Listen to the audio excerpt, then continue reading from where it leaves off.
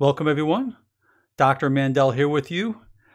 I'm hoping that everyone out there is having a wonderful day or night, depending upon where you are worldwide.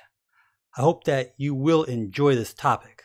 Well, the big question is which drug will not help inflammation and swelling? I will come back to that answer right after this. These medications are everywhere throughout the world.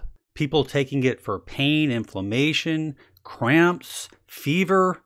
The list can go on and on. Although, in a nutshell, let's tell you the difference between these medications.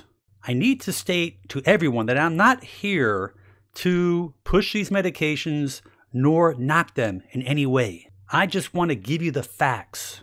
There are millions of people worldwide who are using these medications incorrectly. So let's look at these two medications together Advil and Motrin. They both contain ibuprofen. Ibuprofen is designed to reduce inflammation and take away pain. So here's Aleve. Aleve contains naproxen. Again, it's used to relieve pain as well as inflammation. So Aleve, Advil, and Motrin are nonsteroidal anti-inflammatories. They're designed to reduce inflammation and pain. They're primarily used for headaches, tendonitis, swelling, arthritis, bursitis, and even gout attacks. So if you're suffering from inflammation of a joint, a pinched nerve, or swelling within the body, then these medications are designed to have that anti-inflammatory effect.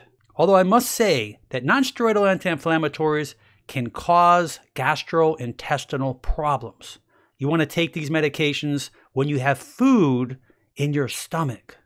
Nonsteroidal anti inflammatories can affect the kidney. So if you're having kidney problems, please speak with your physician.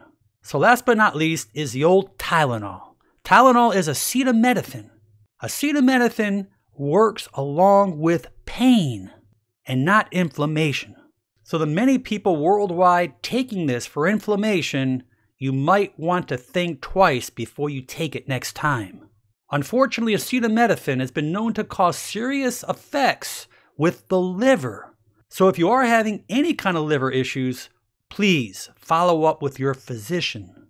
There are many over the counter medications that already contain acetaminophen Actifed, Excedrin, Midol, Robitussin, Sudafed, Vicks, and many others. I want to mention that all four of these medications will reduce fever. So if you said number two, yes, you are the winner. I want to thank you for tuning into this video. I hope that this information will give you a better direction about your health and well-being. I ask you to share this video on your social media so we can help educate others worldwide. Leave your comments below because there will be many. And most important, Make it a great day. I'm Dr. Alan Mandell.